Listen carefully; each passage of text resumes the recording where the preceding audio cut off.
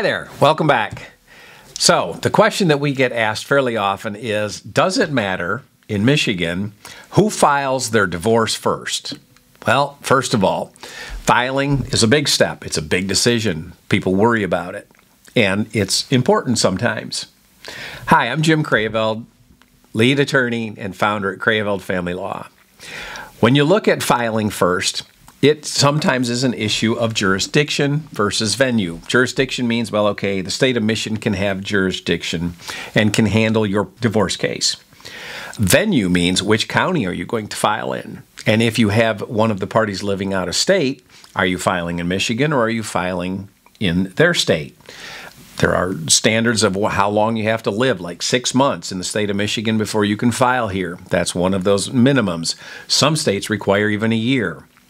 Now, if you're looking at venue, uh, which is which county to file in, and one party lives in one county, one party lives in another county, it might make a difference. For example, if you think that one county leans to be a little bit more mom friendly versus dad friendly, but one of the basic issues is, is where do you have your real estate and where do you have children? Because where the children reside is typically where the court case needs to occur. So if you want to file first, one of the advantages is if you meet with an attorney beforehand, you get the time to prepare, you get to get all of your documents in order, you get to know what you're going to do. You sort of set the tone of where it's going to occur, when it's going to occur. Sometimes you don't have a choice. If there's domestic violence, one of the parties, the other party is is squandering money, they're gambling it away, drinking it away, whatever, they're moving money around or they're dissipating assets and you don't know where all of a sudden personal property is going, you may have to file much more quickly than you initially planned on. So, those are, are some of the issues. If you've got children's needs and there's going to be a fight about the kids, you may need to get into the court system to get a temporary order that allows the court system to say, all right, the kids are going to be living here, they're with this parent, this is your parenting time arrangement, we're going to deal with child support, spousal support, who pays the bills. All of those things are, are factors that you can consider. If you do so before you file, you've got the time to think about it. Some other things that come up though is sometimes you might be perceived as, wow, you manipulated all of this, you strategized, you planned this, and you blindside the other side.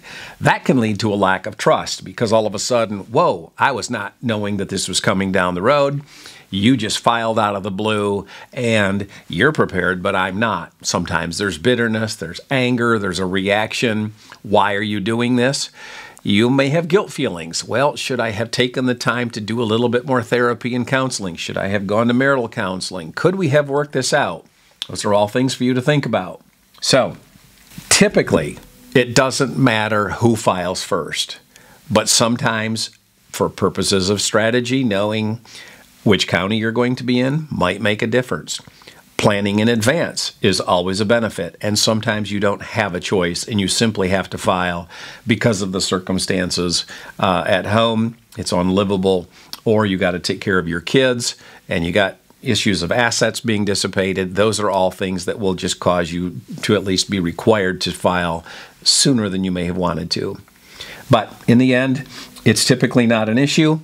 If you meet with an attorney in advance, at least then you can plan, and that's always beneficial. Hope that helps. Until next time, take care.